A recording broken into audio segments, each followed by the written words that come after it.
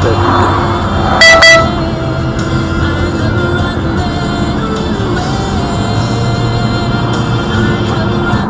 directions around the uh, area on the Daventry side of Wheaton Beck, so uh, that stretch runs